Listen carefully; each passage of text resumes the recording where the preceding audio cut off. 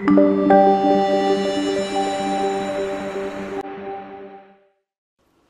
kính chào quý vị khán giả. Bảo Trân rất hân hạnh được đồng hành và gửi tới quý vị những thông tin cập nhật trên kênh YouTube Báo Pháp Luật Thành phố Hồ Chí Minh. Nội dung chi tiết sẽ được gửi tới quý vị và các bạn ngay sau đây.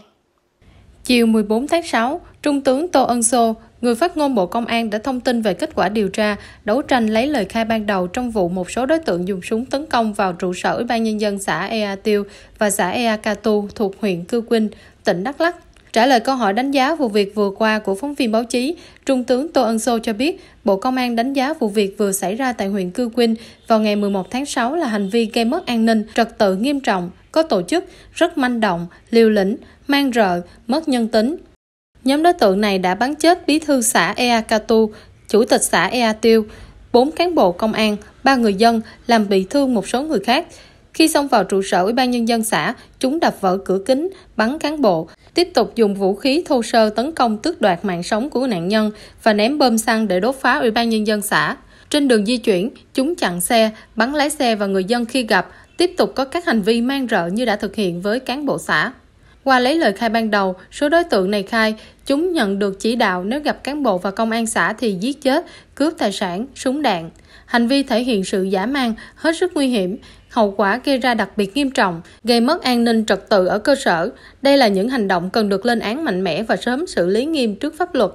Qua vụ việc cho thấy, tinh thần quả cảm, hết lòng vì sự nghiệp chung của bí thư xã Eakatu, chủ tịch xã Ea Tiêu, khi biết có việc xảy ra tại trụ sở xã đã ngay lập tức có mặt tại hiện trường và bị các đối tượng xấu giết hại.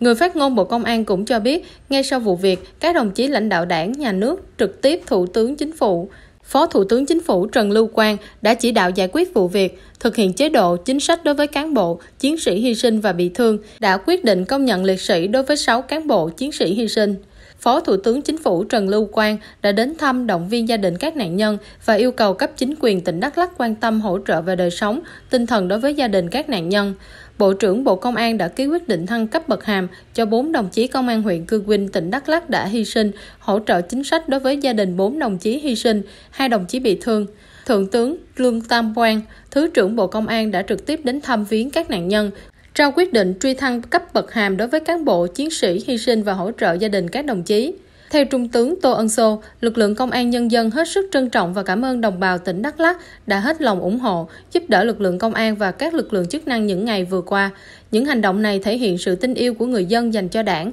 nhà nước, các lực lượng vũ trang nhân dân, đặc biệt là lực lượng công an nhân dân, thể hiện truyền thống đoàn kết, tinh thần tương thân tương ái, đồng thời cũng cho thấy hiệu quả của phong trào toàn dân bảo vệ an ninh tổ quốc, thế trận lòng dân vững chắc tại địa bàn. Đối với các hoạt động đảm bảo kiểm soát tình hình an ninh trật tự tại địa bàn tỉnh Đắk Lắk, người phát ngôn Bộ Công an khẳng định với tinh thần quyết liệt tấn công, truy bắt bằng được, bằng hết các đối tượng gây ra vụ việc. Đến nay, lực lượng công an cùng các đơn vị chức năng, sự hỗ trợ của quần chúng nhân dân đã bắt giữ được 46 đối tượng. Để kiểm soát tình hình an ninh, trật tự tại địa bàn, Bộ trưởng Bộ Công an Tô Lâm Thứ trưởng Lương Tam Quang đã chỉ đạo áp dụng mọi biện pháp cần thiết truy bắt hết số đối tượng gây án đang lẫn trốn, thu giữ toàn bộ vũ khí, vật liệu nổ, đồng thời đảm bảo tuyệt đối an toàn cho người dân và lực lượng tham gia truy bắt. Tiến hành công tác điều tra, xử lý nhanh chóng, theo đúng quy định, triển khai đồng bộ các biện pháp loại trừ các nguy cơ xảy ra vụ việc tương tự, lợi dụng vụ việc kích động gây mất an ninh, trật tự, chỉ đạo, ra soát toàn bộ các phương án đảm bảo tuyệt đối an ninh tại các địa bàn, mục tiêu, lĩnh vực trọng điểm, sẵn sàng lực lượng, phương tiện xử lý các tình huống phức tạp phát sinh. Bộ Công an yêu cầu và kêu gọi các đối tượng đang lẫn trốn sớm ra đầu thú để được hưởng khoan hồng của pháp luật. Bộ Công an đề nghị người dân tích cực tham gia tố giác tội phạm, cung cấp thông tin chính xác, giúp lực lượng chức năng truy bắt đối tượng, hết sức cảnh giác trước các luận điệu xuyên tạc, thù địch và chủ động bảo đảm an toàn trong thời gian các lực lượng chức năng tiếp tục truy bắt các đối tượng lẫn trốn.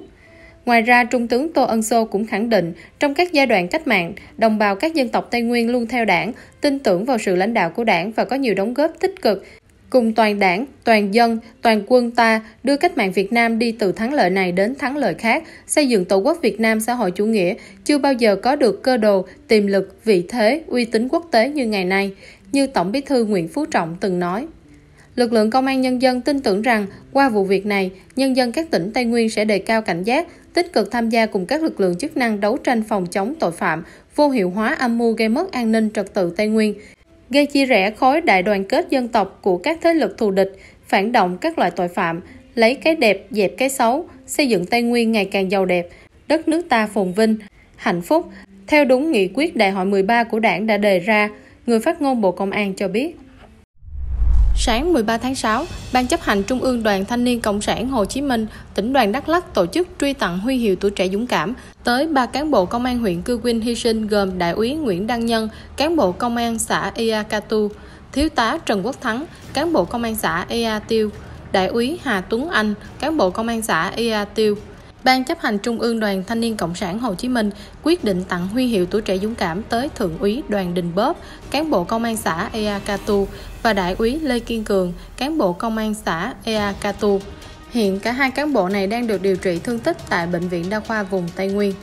Trước đó, ngày 12 tháng 6, Phó Thủ tướng Trần Lưu Quang đã ký quyết định về việc cấp bằng tổ quốc ghi công cho 4 liệt sĩ thuộc Bộ Công an và hai liệt sĩ thuộc tỉnh Đắk Lắk hy sinh trong vụ tấn công vào trụ sở Ủy ban Nhân dân xã tại huyện Cư Quynh, tỉnh Đắk Lắk. Chiều 11 tháng 6, Bộ trưởng Bộ Công an đã ký quyết định truy thăng cấp bậc hàm đối với 4 cán bộ, chiến sĩ công an xã hy sinh trong vụ tấn công. Theo đó, Bộ trưởng Công an quyết định truy thăng cấp bậc hàm lên thiếu tá đối với Đại úy Hoàng Trung, sinh năm 1981, quê Nghi Lộc, Nghệ An, cán bộ công an xã Eakatu, huyện Cư Quynh. Truy thăng cấp bậc hàm lên đại úy đối với Thượng úy Nguyễn Đăng Nhân, sinh năm 1994, quê Yên Thành, Nghệ An, cán bộ công an xã Eakatu, huyện Cư Quynh.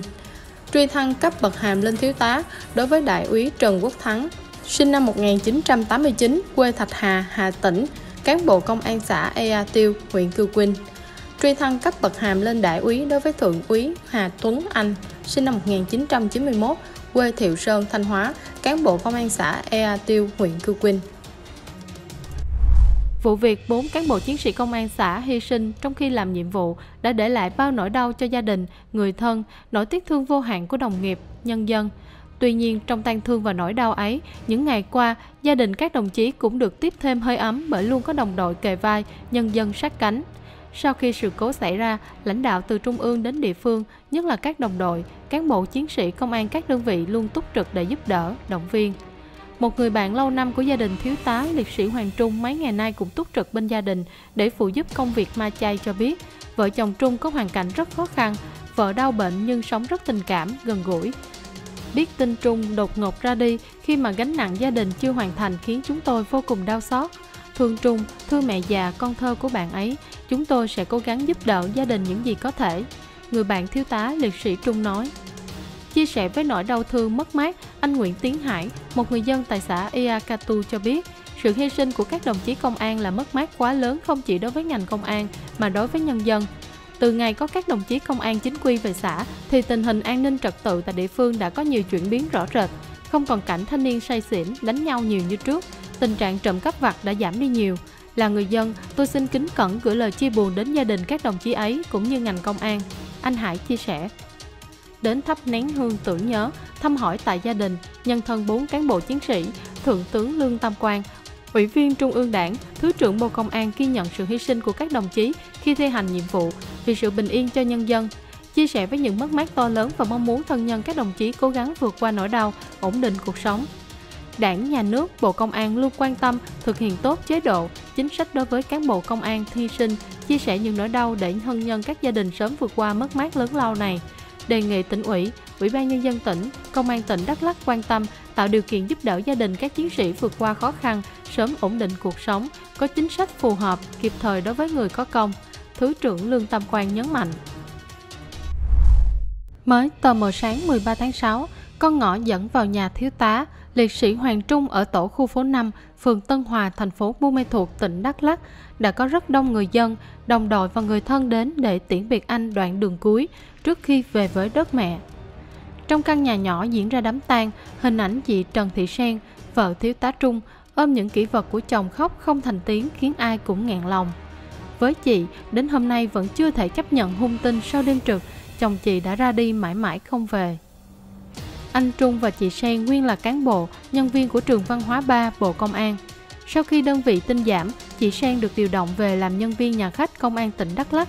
còn thiếu tá Trung được điều về làm công an xã Iakatu. Đơn vị cách xa nhà hàng chục cây số, thường phải trực đêm để đảm bảo an ninh trật tự nơi địa bàn đơn vị phụ trách. Với gia đình, Anh cũng là trụ cột chính khi nuôi mẹ già, vợ bệnh và hai con nhỏ đang tuổi ăn học. Theo người dân gia đình cho biết, chị Sen bị suy thận độ 4 nhiều năm nay nhưng vẫn cố đi làm để có đồng lương xoay sở thuốc men.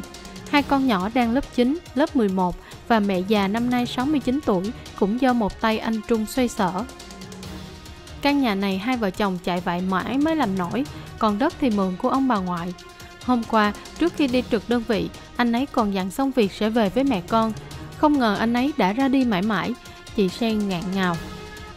Cũng chưa tin chồng mình đã ra đi mãi mãi, chị Phạm Thị Như Phương, vợ liệt sĩ đại úy Hà Tuấn Anh, cán bộ công an xã Ea Tiêu, mấy ngày nay khóc ngất khi mỗi lần có đồng đội, người thân đến thăm viếng. Người nhà cho biết, Phương cùng Tuấn Anh quen nhau từ năm 2012, đến năm 2019 thì kết hôn. Đứa con gái đầu lòng hơn 3 tuổi là niềm an ủi của gia đình. Phương làm giáo viên gần nhà để tiện chăm sóc bố mẹ chồng vì Tuấn Anh thường xuyên công tác xa nhà. Cuối năm 2022, anh ấy được điều động về công tác tại công an xã Ea Tiêu. Công việc ở đơn vị nhiều nên anh ấy phải thường đi sớm về hôm. Là người ham công việc nên tranh thủ những lúc rảnh rỗi, anh ấy vẫn phụ giúp gia đình bố mẹ làm rẫy, dọn dẹp nhà cửa. Chị Phương nức nở nói. Tiếp lời chị Phương cho biết, hơn một tuần nay, chồng chị phải trực đêm liên tục theo yêu cầu của cấp trên. Tối 11 tháng 6, con gái trở bệnh nên anh ấy về nấu cơm, đút cho con ăn, cho con uống thuốc. Trước khi đi, anh ấy còn dặn mẹ con tối nay trực ở cơ quan xong sẽ về đưa con đi tái khám, làm xong mảnh vườn ông bà mới cho để tăng thêm thu nhập. Vậy mà anh ấy lại bỏ mẹ con em mà đi. Chị Phương nghẹn ngào khóc. Cùng chung nỗi đau, mấy ngày qua mẹ của thiếu tá liệt sĩ Trần Quốc Thắng dường như không còn nước mắt để khóc thương con. Bên linh cửu, và ngồi chết lặng nhìn di ảnh của cậu con trai nghi ngút hương khói, khiến ai cũng nhói lòng. Bao năm qua, Thắng luôn công tác xa nhà, từ khi anh được điều động về nhận nhiệm vụ tại công an xã Ea Tiêu, căn nhà cấp 4 xuống cấp của gia đình Thắng hứa đi làm sẽ gom góp tiền lương sửa lại cho mẹ. Chiều 11 tháng 6, sau bữa cơm tối, con còn nói vài tháng nữa góp đủ tiền sửa lại nhà cho mẹ. Trước khi đi, con dặn mẹ cố ngủ sớm, xong việc con sẽ về. Ấy vậy mà lần ra đi ấy tôi không còn được gặp lại nó. Mẹ cô thiếu tá Thắng ngẹn ngào. Những thông tin vừa rồi cũng đã khép lại chương trình của chúng tôi. Bảo Trân rất mong nhận được sự quan tâm và đồng hành của quý vị và các bạn dành cho các chương trình trên kênh YouTube Báo Pháp Luật Thành phố Hồ Chí Minh. Đừng quên nhấn chuông theo dõi chúng tôi để không bỏ lỡ bất kỳ thông tin nào. Xin chào và hẹn gặp lại.